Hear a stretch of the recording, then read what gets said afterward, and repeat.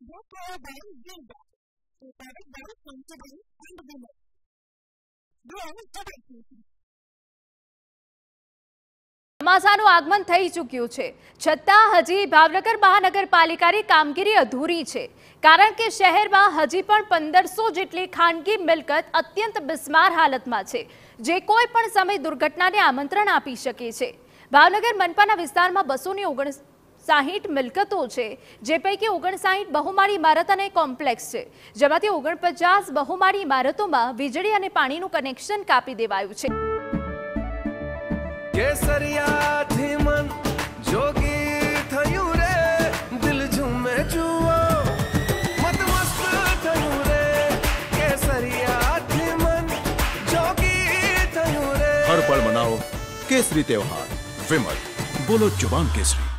તો અઢાર બહુમાળી ઇમારતોને અંતિમ નોટિસ આપવામાં આવી છે. આપને જણાવી દઈએ કે અત્યાર સુધી મનપાએ સત્તરસો બત્રીસ એકમોને નોટિસ આપીને સંતોષ માની લીધો છે. જો કે થોડા અંશ સુધી કાર્યવાહી પણ કરી છે, જેમાં નળ, ગટર અને વીજ કનેક્શન કાપી દેવાયા છે. પરંતુ હજુ સુધી કોઈ નિરાકરણ નથી આવ્યું. જો વાવાઝોડું કે ભારે વરસાદ આવે, તો જર્જરિત મિલકતો જોખમ ઊભું કરી શકે છે.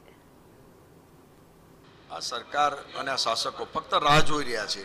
જેવા અકસ્માતો બનાવો જે ગુજરાતમાં અન્ય સિટીમાં બનાવે છે. અને ખાસ કરીને પ્રી મોન્સૂનની કામગીરીનો એક ભાગ એ છે, એક બાજુ સ્ટ્રોમલાઇન અને ડ્રેનેજ લાઇન સફાઈ કરવાની. અને એક બાજુ જર્જરિત જેટલા મકાનો છે, એને ઉતારવાની નોટિસો આપી છે. હું એવું માનું છું, આનંદનગર છે, ભરતનગર છે હાઉસિંગ બોર્ડ અને અન્ય પ્રાઇવેટ એકમો, જે જર્જરિત છે એ નહીં ઉતારે તો ગમે ત્યારે અકસ્માત થશે અને કેટલાય લોકો મરી જશે. એના જવાબદાર કોણ? અને ખાસ કરીને જે બિલ્ડિંગ જર્જરી છે, એની બાજુવાળાનો શું વાટ? જો સરકારી ઇમારતોની વાત કરીએ તો હાઉસિંગ બોર્ડના એક્યાસી બ્લોકમાં એક હજાર એકસો સત્તર એકમોમાં નળ, ગટર અને વીજળી કનેક્શન કાપી દેવાયું છે. સાથે મનપાની વીસ જેટલી ઇમારત જર્જરિત છે. જેના પર કોઈ જ કાર્યવાહી નથી કરાઈ. ઉલ્લેખનીય છે કે બે દિવસ પહેલા જ ભાવનગરના વડવા વિસ્તાર પાસે બે માળનું જૂનું મકાન ધરાશાયી થયું હતું, જેમાં એક વૃદ્ધનો આબાદ બચાવ થયો હતો. મહત્વનું છે કે વિપક્ષ પણ અનેક વખત પાલિકાની કામગીરી સામે સવાલ ઉઠાવી ચૂક્યું છે. છતાં કામગીરી અધૂરી છે. ત્યારે આગામી સમયમાં કોઈ મોટી દુર્ઘટના ના બને તે માટે તંત્રએ માત્ર નોટિસ નહીં, કાર્યવાહી કરવી જરૂરી બને છે. ઓછામાં ઓછી ત્રણથી ચાર વાર નોટિસો આપી છે. એમને મુદત પણ આપી છે. મહિનામાં ખાલી કરો, પંદર દીમાં ખાલી કરો. છેલ્લે એ લોકો રાહત લેવા આવ્યા તો દસ દીની રાહત આપી. હવે એમ કહે છે કે બે દીની આપો તો બે દિવસની પણ આપી.